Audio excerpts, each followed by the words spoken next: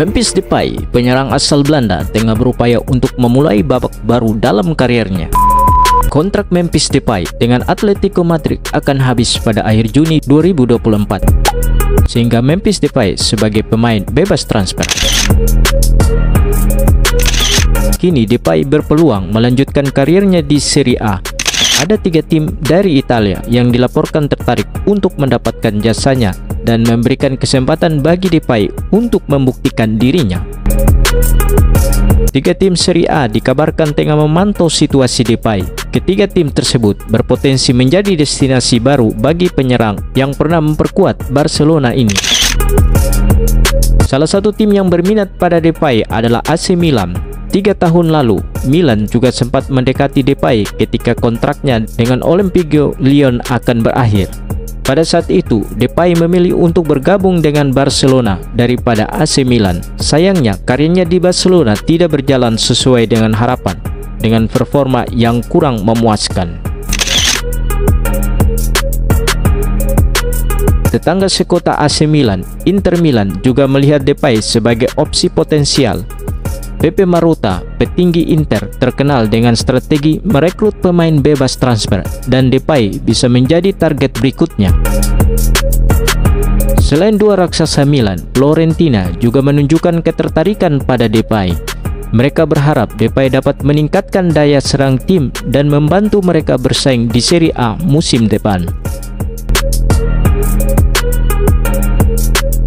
La Viola memiliki ambisi besar untuk meyakinkan Depay agar memilih mereka daripada pelamar lainnya.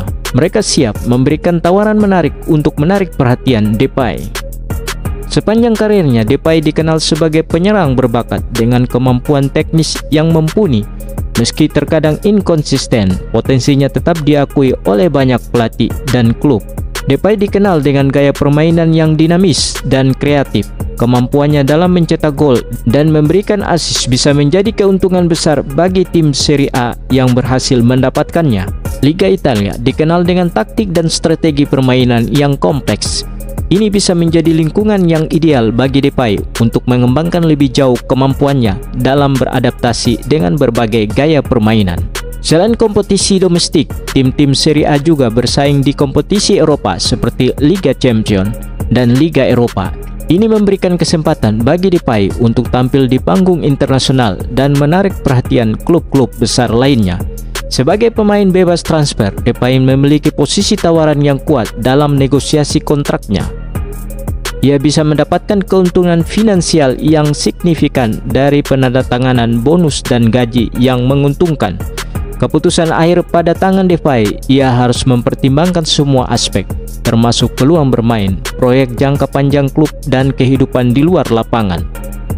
Serie A bisa menjadi tempat di mana ia kembali menunjukkan kehebatannya dan membuktikan bahwa dirinya masih merupakan salah satu penyerang terbaik di dunia. Oh, what a ball. Exceptional. Brought down by Molina. Oh, wonderful wow. goal! Technical quality from Koke was outstanding. This goal is for Koke uh, because the pass, he's got it in spades. Well, I really like the way that he offers and